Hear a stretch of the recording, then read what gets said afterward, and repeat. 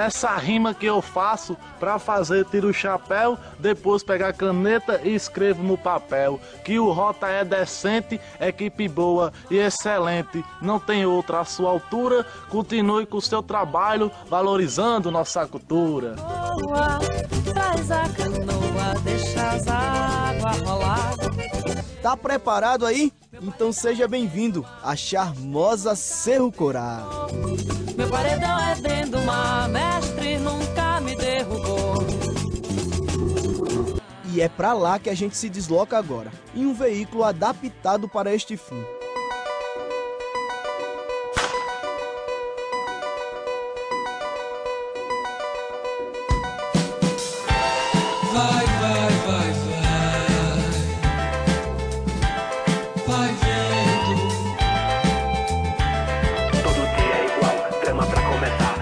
Bom, nossa expedição tem a primeira parada. Essa aqui é a comunidade Serra Verde, não é isso? É, vi.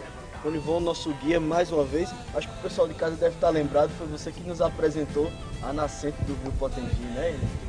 Um orgulho de ser, de ser o Corá aqui com vocês. muito grande, principalmente agora, nesse momento que estamos no período de inverno e a água se torna mais abundante e essa paisagem toda bem verdinha aí contribui muito para melhorar a nossa é, Autoestima, né? Autoestima do, do, do- autoestima da, da- de todo mundo aqui melhora quando começa a cair essa água.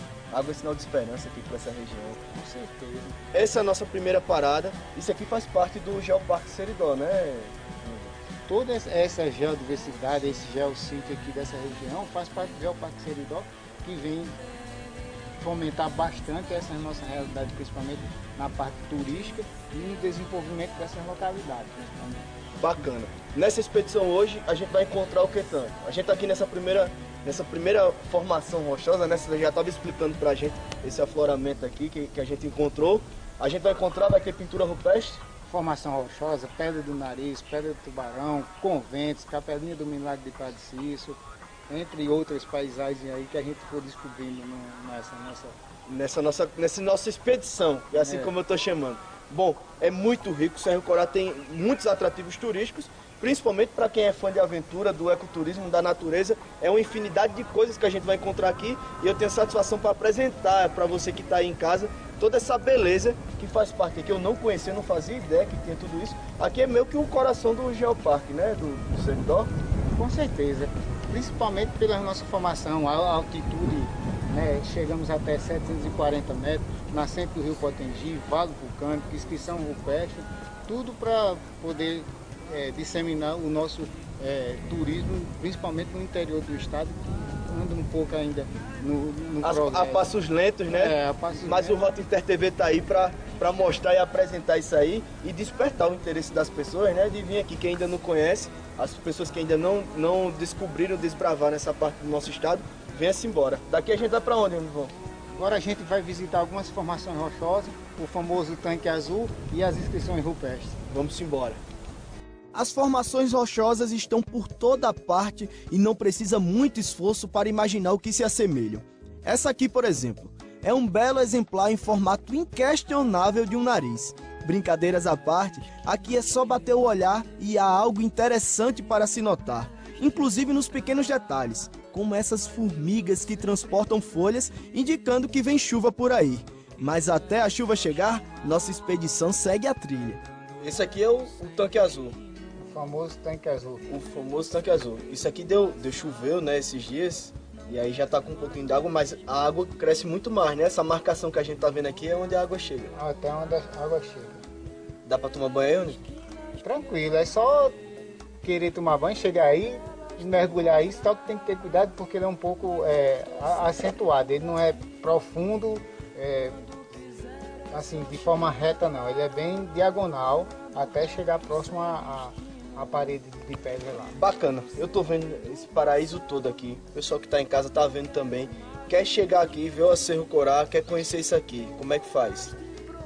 Ou procura o- os condutores locais, né, os condutores locais, ou se de repente tiver hospedado em alguma pousada, entre em contato com o proprietário e a gente vem faz Todo o- mundo sabe indicar como é que chega aqui, né? É, Isso aqui é muito bacana. A gente mostrou um- uma parte do ecoturismo, né? Essa pedra do nariz que é curiosa demais.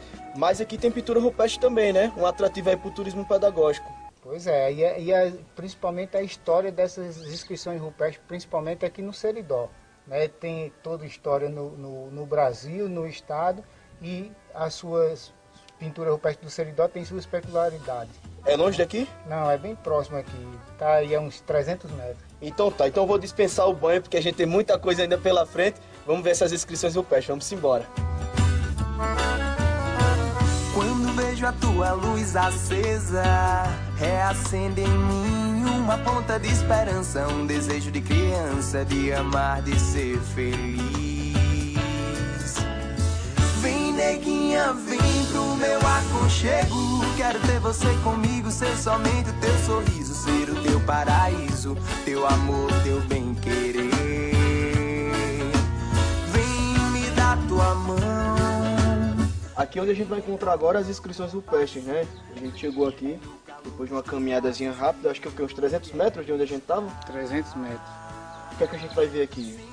A gente vai ver, como eu tinha falado para vocês, da- das inscrições rupestres, principalmente da subtradição seridó. Então, o que a gente vai ver aí? A gente vai ver rituais, cerimoniais, é, animais que existiam na região, que na verdade esse local aí era um local onde não era um local onde eles moravam, mas era um local onde eles iriam deixar suas marcas, né, que como vocês podem ver é uma gruta, e essa gruta né, está protegido do sol, da chuva, só não do vento, né? Então eles fizeram que é para essa, essas inscrições pudessem pendurar o maior quantidade de tempo possível. Tá, é uma gruta, só não é uma caverna porque não, não é uma passagem, né? Só um, um local que tem.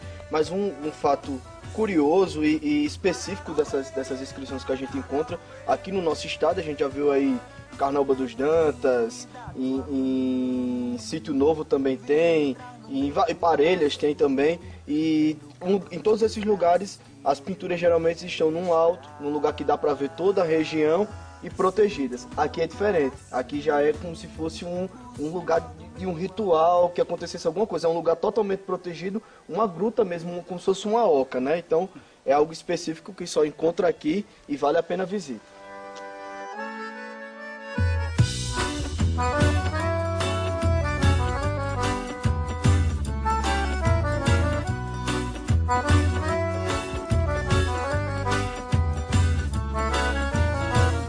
Aqui embaixo a fauna já vai estar toda representada.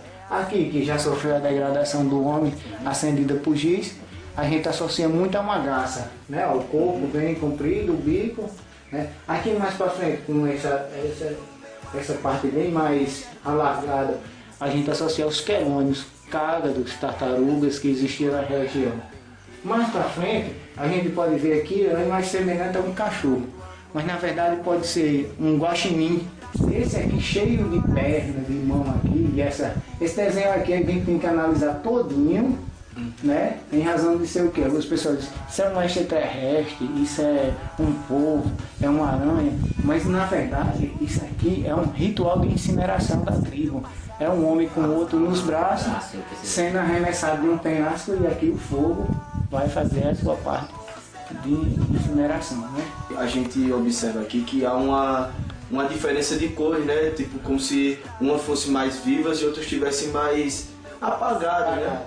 Isso aí é, é passagem de tempo, tipo, há várias gerações que, que, de tribos que se passaram por aqui que fizeram essas inscrições, ou é o, o tempo mesmo que agiu e apagou algumas e outras não? Não, excelente observação. Tudo isso a gente, a gente tanto pode levar por esse sentido, porque até os primeiros habitantes eram nômades, né? Então, aqui, como eu falei para você, era como uma espécie de, de escritório. Um vinha, uma tribo vinha, deixava aqui essas inscrições, e a outra vinha e decodificava, sabia que aqui existia e já deixava também sua marca para as próximas gerações. Tanto isso que você falou pode ocorrer, como o processo de erosão do tempo, né, do intemperismo, o vento. Mas essa sua foi a melhor observação que pode ter feito até agora, né? E aqui você consegue ver que é um homem grande com um menino, com a criança. Isso aí é uma indicação de quando o pai já começa a treinar seu sucessor, ele começa desde novinho, né? E você vai dando mais uma passada e você chega aqui e encontra a maior ave brasileira, a ema. A ema. A ema, pode ver ó, a parte dela mais arredondada, né? E, e aqui Por incrível que pareça, vocês podem ver que essa imagem está bem centralizada, né? O corpo de uma figura feminina com um cocar. Isso representava a hierarquia da tribo. E infelizmente aconteceu isso, esse coração que foi feito já por pessoas até vieram aqui acender ele com giz. E das inscrições dos nossos antepassados, nós pegamos o carro para seguir ao próximo ponto do roteiro. No caminho, o futuro vai passando, personificado nas crianças dessa comunidade se deslocando para o colégio da região. E nós chegamos aqui na Casa de Pedra, nosso amigo Rony Von já tá em cima, rapaz. Tá só na janela, né? Nos guiou até aqui e eu tô aqui com um- um convidado, vou dizer assim. Não vou dizer que é convidado porque você é o anfitrião, né? Com meu amigo Lamparina. Lamparina, como é teu nome mesmo? Felipe. Felipe participou com a gente, né? Quando a gente fez aquele especial sobre o Rio Potengi, que começamos aqui na tua terra. Você é cordelista, né? Poeta cordelista. Poeta cordelista aqui da, Saparamês, fecha de Seridó. da Cissa de Seridó. É. Respira, vocês respiram cultura, né? Aqui. Bastante, Vocês têm- bastante cultura aqui na nossa cidade. É um atrativo para a cidade. É, além desses atrativos naturais que a gente tem, tem um atrativo cultural também, que aqui o, o Felipe faz junto com o pessoal. Você não trabalha sozinho, né? Tem o pessoal também, né? Que. Eu trabalhava com uma equipe chamada Grupo Bode da Serra, só que por causa de alguns motivos o grupo terminou, mas o coordenador chamado Raimundo Ronildo me incentivou para continuar na carreira solo. Tipo, É, carreira solo, bacana, bacana, Lamparina. Esse lugar aqui tu já conhecia? Já, já. Óbvio, né? Tá em casa, Casa de Pedra é fabuloso. O pessoal poder entender, isso aqui tudo não tá seguro por nada, tá só, como a gente diz na construção civil, tá só no balanço. Só no balanço. Incrível, incrível assim. É realmente encantador isso que a gente encontrou aqui. Mas vamos fazer o seguinte: vamos pro intervalo pra gente poder beber água, descansar. E a gente volta daqui, a gente vai pra onde? Vai pra onde, Olivão, daqui? Conventos. Tu conhece? Conheço também lá. Conhece o que é que tem lá? O que é que a gente vai encontrar lá? Bastante pedras bonitas e entradas bacanas pra gente Explorar por lá. É, mas antes da gente ir, quero um verso aí pra gente poder ir pro intervalo com, com, com a rima sua. Pode ser? Pode ser. Vamos embora então. É, como eu sou nordestino arretado, tenho avô do meu Nordeste, eu descrevi um versinho meu onde eu disse Sou a rapa da panela, o ubu do ibuzeiro, sou matuto, sou vaqueiro, sou gibão e sou a cela, sou a brecha da janela, onde vejo o sol nascer. Quem quiser pode dizer que sertanejo é sofrido, mas sou nordestino, assumido, com muito orgulho de ser. Sou o vaqueiro aboiador, sou a seca e o sofrimento, sou a carga do jumento, o matuto trabalhador. Mas sou do povo que não sabe ler, sou nordestino assumido, com muito orgulho de ser. É isso aí, o Roda TV volta já, é rápido mesmo, viu? Sai daí não.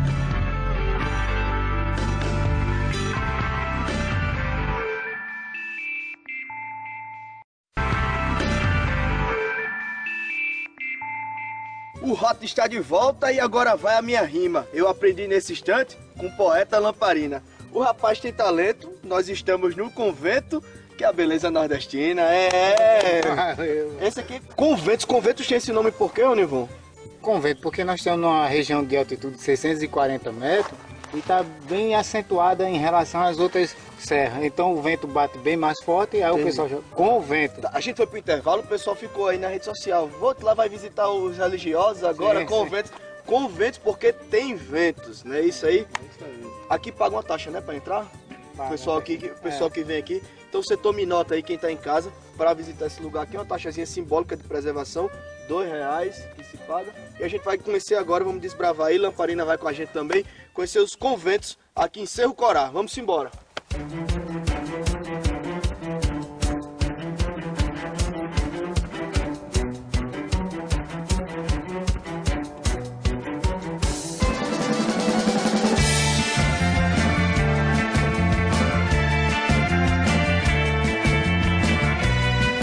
Ô, a gente chegou aqui numa parte aqui, como é você estava contando aqui? Agora a gente vai passar na pedra do pecado, porque qualquer arranjozinho que você tiscar nela já significa um pecado que você tinha. Ah, é? Então tá, então vou me preparar. Por favor, o poeta primeiro, o poeta que é maguinho, né? É, mais, tá mais perto de Deus, vai lá, meu filho, passe aí. É. Não, ele não mostrou, foi, foi a roupa, foi a roupa, foi a roupa. Bom, agora sou eu que vou passar nesse negócio. Vamos ver se eu tô, se eu tô com pecado. Como é? Tem, tem estratégia aqui? Pode, pode, Tem, pode tem ser abaixado? Não, não, não. Você tem que passar em pé. Tem que passar menos em pé mesmo, A né? pedra mesmo no gogó, que já tá dizendo. Se pecar, já fica o gogó rasgado. é? E- Bom, a resposta bateu.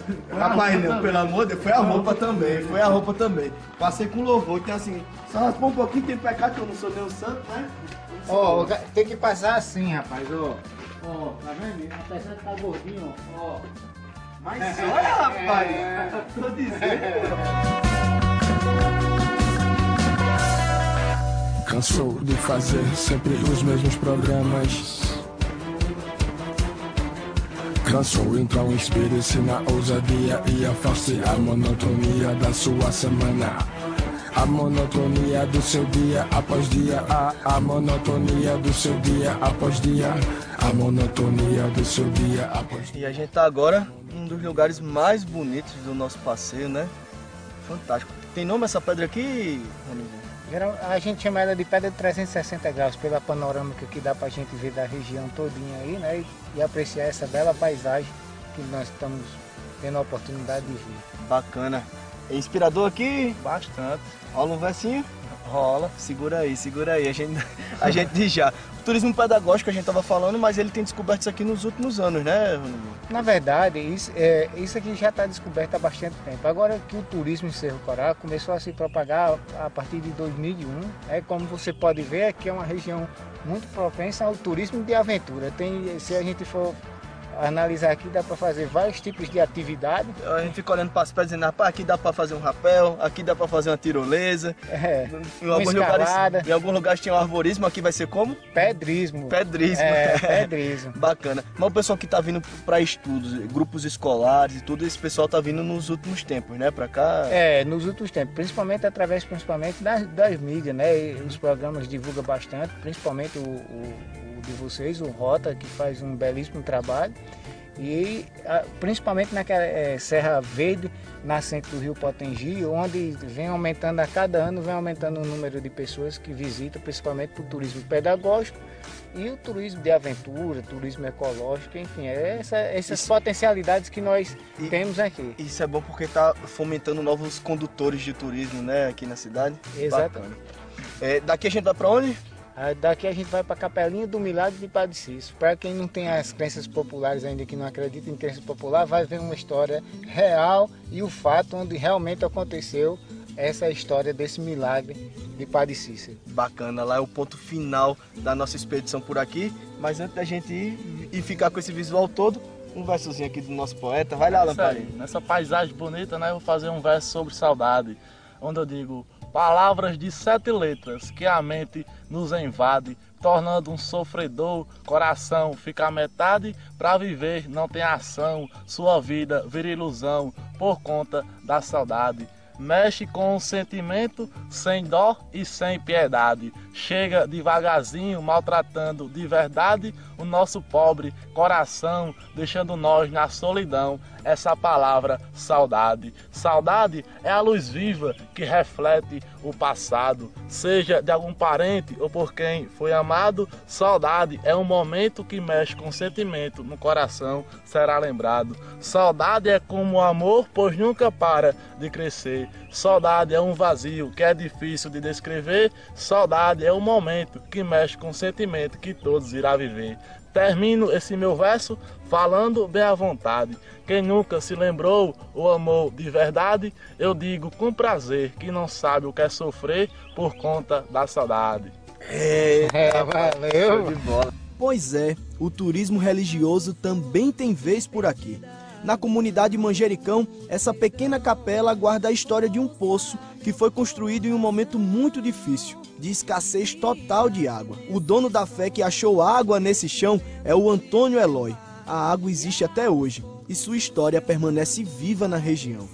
Aqui, aqui, segundo as informações dos populares que a gente conseguiu apurar, é que é, por volta de 1914, é, toda essa região aqui passou por uma grande seca.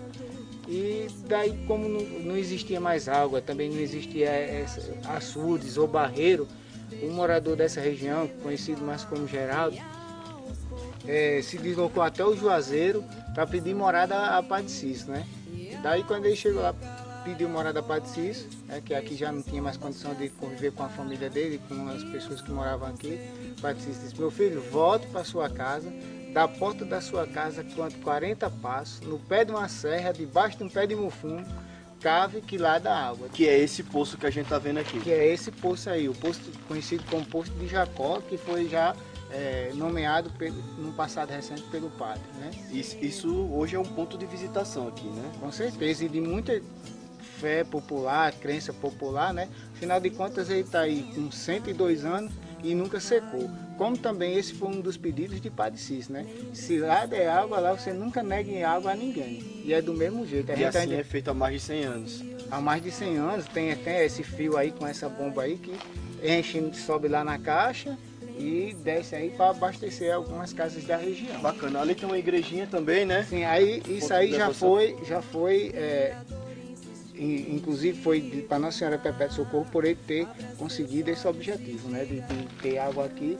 Ele fez essa igrejinha aí em homenagem e para as pessoas também terem seu ponto de fé e oração. Muito bacana, muito bacana mesmo a gente contar essa história, mostrar esse lugar que também a gente falou hoje do turismo de aventura, do turismo ecológico, do turismo pedagógico e agora a gente está mostrando o turismo religioso que também tem aqui, completo. Tem tudo aqui. Muito bacana e não só tem isso que a gente mostrou aqui no Rota Inter TV não. Você que está vendo aí, Cerro Corá tem uma infinidade de coisas. Tem aquela parte que passa do, do, do Rio Potengi, que tem o escorrego e tal, aquilo que a gente mostrou no programa especial. Né? Isso tem Isso, isso, também. é. O pessoal tá podendo rever essas imagens agora. A gente fez imagens aéreas de lá, muito bacana. Tem também um passeio de búfalo. Por sinal, é no, no, na- no hotel lá que a gente tá hospedado. O pessoal tá vendo aí a imagem eu me aventurando em cima do búfalo.